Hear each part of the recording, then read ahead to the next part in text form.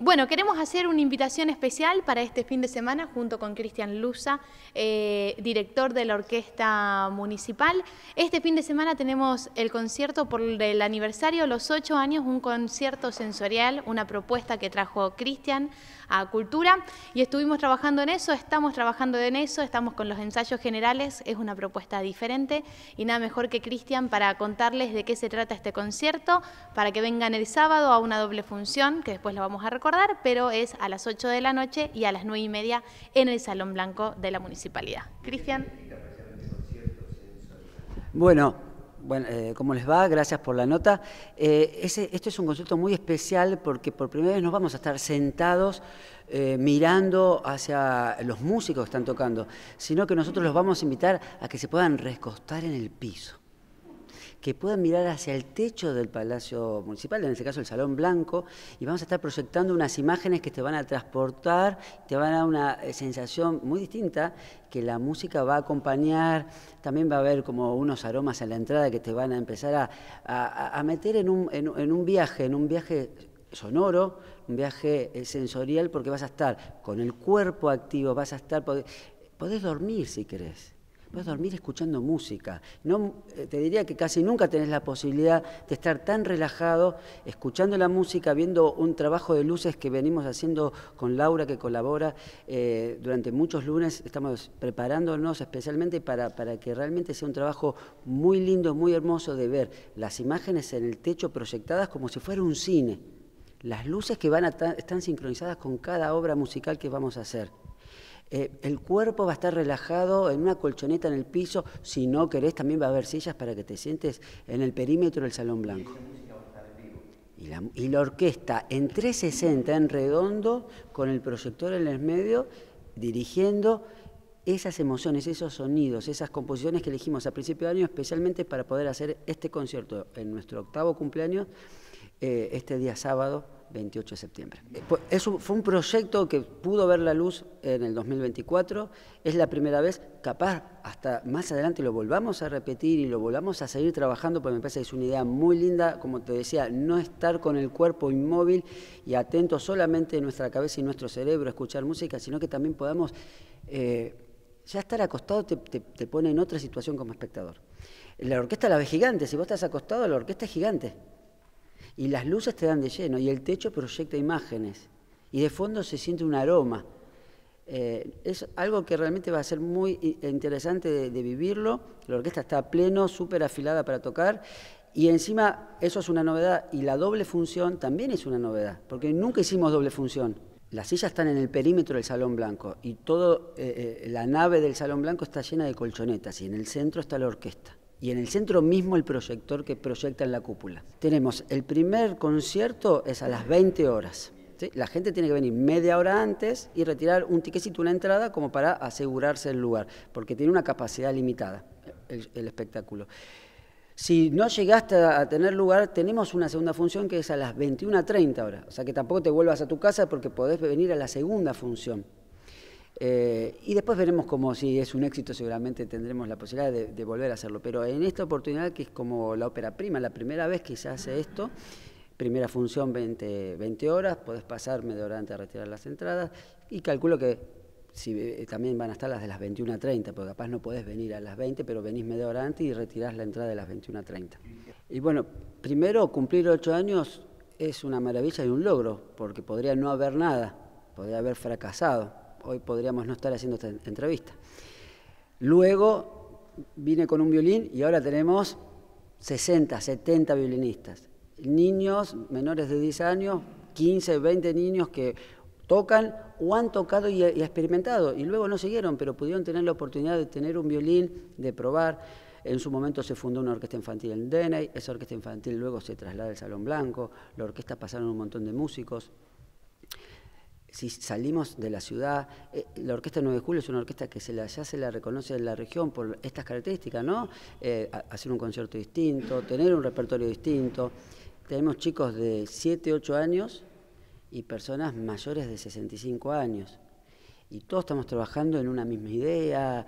Eh, me parece que en ocho años se construyó una idea de tocar en comunidad, de tocar en conjunto, en tocar con diferentes edades, en tener un proyecto en común, en seguir una idea también, que no es fácil, porque hay una idea, hay una cabeza, hay una propuesta, abierto siempre a conversar. Eh, creo que 9 de julio hoy tiene una orquesta ya asentada cuando hace ocho años no, no había nada o había un sueño y eso no es menor, ¿viste? Eh, cuando vengan el fin de semana y vean a los chiquitos tocando, que son varios y tocando muy bien, y tenemos más sorpresas para fin de año con esos chicos, eh, creo que ya con ver eso, en los tiempos que corren hoy, ya me parece que ya es un logro. La gran fiesta viene para los 10 años, así que hay que esperar. Pero ahora que son 8, creo que esto está buenísimo y valió más que la pena. Em, Sí, sí, o sea, ideas siempre hay un montón, pero este año igual se estuvo trabajando como por otro lado desde cultura. De hecho, bueno, fue que en vacaciones de invierno decidimos llegar con otras propuestas. La orquesta ha llegado, ha recorrido unas cuantas localidades. Este año no era, digamos, lo que teníamos previsto para la orquesta, pero sí seguir trabajando, sí seguir acercando, sí seguir construyendo. Y eso también es un poco en función de lo que proponen, desde los espacios que hoy son municipales, como la banda, la orquesta, que obviamente tienen que ver con, las propuestas de los directores, lo que ellos plantean para, para los grupos, eh, y, bueno, y también con las posibilidades. Eh, pero bueno, eh, hoy puntualmente con la orquesta estuvimos trabajando este año en este concierto, en encontrar recursos nuevos, en brindar un concierto que sea realmente diferente, donde se despierten todos los sentidos y, bueno, eso hizo que, se trabaje puntualmente acá en la ciudad, lo que no significa que no lo podamos llegar a, llevar a algún lugar, eh, porque de por sí, bueno, el trabajo de producción ya está hecho, los ensayos generales están hechos, el guion está armado, entonces, bueno, quizás es la apertura para trasladarlo, no sé si este año nos lo permite porque ya tenemos una agenda movida, movida, pero bueno, es un trabajo que ya nos queda hecho para empezar a, disfrutarlo y a compartirlo. No, no quiero ser grandilocuente, pero creería que no hay otras orquestas en la provincia de Buenos Aires. No, no, no, no creo que... claro, no. esta propuesta... Eh, y esta propuesta desde un espacio municipal también, ¿no? Porque eso hay que resaltarlo. Eh, una orquesta escuela o una orquesta municipal de cualquiera de los distritos que hay en la provincia de Buenos Aires, eh, creo que no, que es la primera vez que se hace algo como trabajar un guion, trabajar unas imágenes, trabajar una puesta en escena, trabajar las luces, eh, trabajar un repertorio. Nosotros tenemos un repertorio particular en el cual yo trabajo sobre ese repertorio y que no es el repertorio a veces habitual que suelen trabajar en otros lugares, otros directores, sino que tiene como tiene, tiene ahí un poco, ahí está mi impronta, digamos, también en, esa elección. Eh, me, pone, me enorgullece y me pone muy contento que así sea, de todas maneras. Eh, realmente lograr eso, trabajarlo y llevarlo a cabo el fin de semana, más allá que reconozco el gran trabajo que hacen otros directores, porque acá, lo importante es que haya muchas orquestas en la Argentina y que haya muchas orquestas en la provincia. Yo intento que la mía sea distinta, que sea increíble y que la pasemos muy bien y que los chicos aprendan música. Ese es mi trabajo.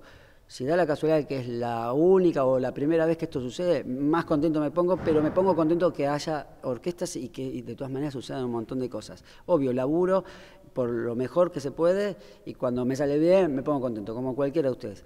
Y cuando me sale mal, también me pongo mal.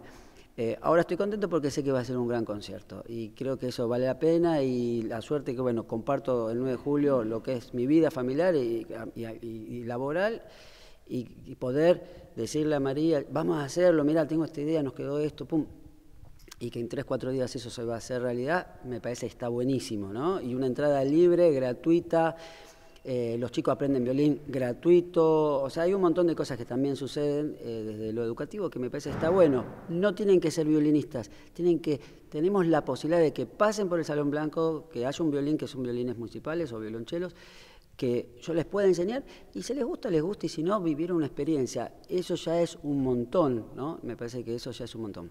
Lo más, lo más importante es poder venir a retirar las entradas media hora antes, así ya tienen su lugar.